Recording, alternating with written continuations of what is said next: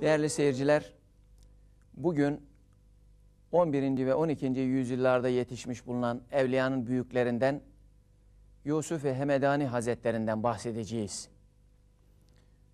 Yusuf ve Hemedani, insanları hakka davet eden, onlara doğru yolu gösterip, hakiki saadete kavuşturan ve kendilerine Silsile-i Aliye denilen büyük alim ve velilerin sekizincisidir.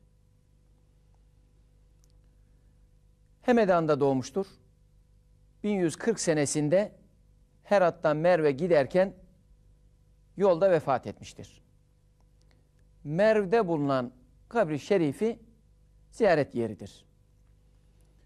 18 yaşında Bağdat'a gelip fıkıh ilmini Ebu İshak-ı Şirazi'den öğrenmiştir. Yaşı küçük olmasına rağmen Ebu İshak rahmetullahi aleyh kendisine hususi ihtimam gösterirdi. Bunun ve diğer fıkıh alimlerinin derslerine devam etmekle Hanefi mezhebinde fıkıh ve münazara alimi oldu. İsfahan ve Semerkant'ta zamanının meşhur hadis alimlerinden hadis ilmini öğrendi. Tasavvufu Ebu Ali Farmedi Hazretlerinden öğrenip sohbetinde yetişerek kemale ulaştı. Abdullah Cüveyni, Hasan Semnani gibi büyükler ile görüşüp sohbet etti ve onlardan ilim öğrendi. 60 yıldan fazla insanlara doğru yolu göstermekle meşgul oldu. Yüzlerce talebe ondan ders aldı. Abdullah Berki, Hasan-ı Endaki, Ahmet Yesevi ve Abdülhalik Goncduvani gibi büyük veliler yetiştirdi. Daha önce Ahmet Yesevi ve Abdülhalik Goncduvani Hazretlerinden birer nebze bahsetmiştik. Bunlardan Ahmet Yesevi Türkistan tarafına göç edip insanları irşad ederek büyük hizmetler yaptı. Yusuf ve Hemedani rahmetullahi aleyh önce Merv'de bir müddet kalıp Herat'a gitti. Herat'ta uzun zaman kaldıktan sonra tekrar Merve gelip bir müddet daha kaldı. Ve tekrar Herat'a döndü. Herat'tan Merve giderken işte yolda vefat etti. Yusuf Hemedani bütün dostlarına talebesi Abdülhalik Goncduvani'ye tabi olmalarını söyledi. Kendisinden sonra bu talebesi insanlara doğru yolu gösterdi. Yusuf Hemedani Kudüs'e Sirruh, Irak, Horasan, Mavera Ünnehir bölgelerinin muhtelif şehirlerinde bulunarak halka saadet yolunu anlatmakla meşgul olmuştur.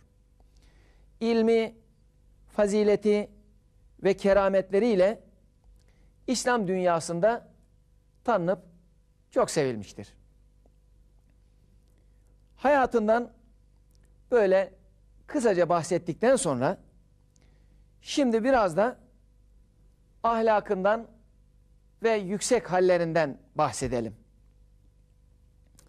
Hakiki İslam alimlerinden ve evliyanın büyüklerinden olan Yusuf Hemedani rahmetullahi aleyh eline ne geçerse muhtaçlara verir, kimseden bir şey istemezdi. Herkese iltifat eder, yumuşak ve merhametli davranırdı. Yolda yürürken bile Kur'an-ı Kerim okumakla meşgul olurdu. Arada bir yüzünü Hemedana çevirir ve çok ağlardı. Birkaç gün önce kendisinden bahsettiğimiz Selman-ı Farisi Hazretlerinin asası ile sarığı kendisindeydi. Her ay başında Semerkant alimlerini çağırarak onlarla sohbet ederdi. İnsanlarla uğraşmaktan, onları yetiştirmek için çalışmaktan hiç sıkılmazdı. Bir taraftan yanına gelen herkese doğru din bilgilerini öğretmeye çalışır. Diğer taraftan ağrılara ve yaralara ilaç yaparak herkesin derdine yetişmeye gayret ederdi. Böylece maddi ve manevi hastalıkların mütehassıs bir tabibi olduğunu gösterirdi. Talebelerine ve kendisini sevenlere daima Peygamber Efendimizin ve Eshab-ı Kiram'ın yolunda gitmelerini tavsiye ederdi. Kalbi bütün mahlukat için derin bir sevgiyle doluydu. Gayrimüslimlerin evlerine giderek onlara İslamiyet'i anlatırdı. Her şeye sabır ve tahammül eder, herkese karşı muhabbet gösterirdi. Altın ve gümüş eşya kullanılmasına müsaade etmez, fakirlere zenginlerden daha fazla itibar ederdi. Zühd sahibiydi. Dünyaya ehemmiyet ve kıymet vermezdi.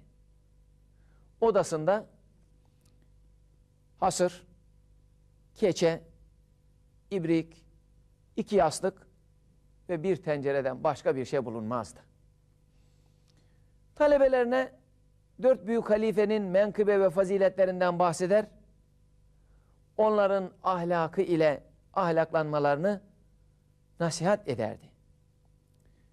Menazilü sayirin, seyredenlerin menzilleri ve menazilü salikin, sülük edenlerin menzilleri adlı eserleri vardır. Yusuf ve Hemedani Kudüs'e Sirru Hazretlerine İslam alimlerinin ve kıymetli rehberlerin azalıp yok olduğu zaman ne yapmak lazım denildiğinde o zaman her gün o büyüklerin yazdıkları kitaplardan bir miktar okuyunuz buyurmuştur. Sayısız kerametlerin ve faziletlerin kendisinde toplandığı veli kamil bir zattı. Kerametlerinin en büyüklerinden birisi Allahü Teala'yı tanımak yolunda çok yüksek derece ve makamlar sahibi olan bir müddet önce hayatından bahsettiğimiz Abdülhalgı Goncduvani gibi büyük bir veliyi yetiştirmesidir. Ebu Said Abdullah, Abdülkadir Geylani Hazretleri ve İbnü Sakka ilim tahsili için Bağdat'a gelmişlerdi. Yusuf Hemedani rahmetullahi aleyh Bağdat'ta Nizamiye Medresesi'nde ders veriyordu. İbn-i Sakka adındaki meşhur bilgin kalkıp edebe tam riayet etmeden biraz saygısızca bir sual sordu. Ona otur. Senin sözünden küfür kokusu geliyor buyurdu. Hakikaten İbn-i Sakka o zaman İstanbul'a sefir olarak gidip orada maalesef Hristiyan oldu. İslamiyet'ten çıktı. Yusuf Hemedani konusunu onun bir menkıbesiyle bitirelim. Bir gün Hemedan'dan bir kadın ağlayarak Yusuf Hemedani Hazretleri'nin huzuruna geldi ve dedi ki efendim oğlumu Bizanslılar esir etmişler. Sabredin buyurdu. O kadın sabredecek halim sabredecek halim kalmadı dedi. Bunun üzerine Yusuf Medani Hazretleri Ya Rabbi bu kadının oğlunu esirlikten kurtar. Üzüntüsünü neşeye çevir diye dua etti. Kadın eve gelince bir de ne görsün? Oğlu evde oturuyor. Buna şaşa kaldı. Oğluna anlat bakalım evladım. Sen buraya nasıl geldin dedi. O da şöyle anlattı. Biraz evvel İstanbul'daydım. Ayaklarım bağlıydı. Başımda da bir muhafız vardı. Aniden bir kimse geldi. Beni kaptığı gibi bir anda buraya getirdi dedi. Cenab-ı Hak böyle büyük zatların himmet, teveccüh ve tasarruflarını bizlere de nasip buyursun.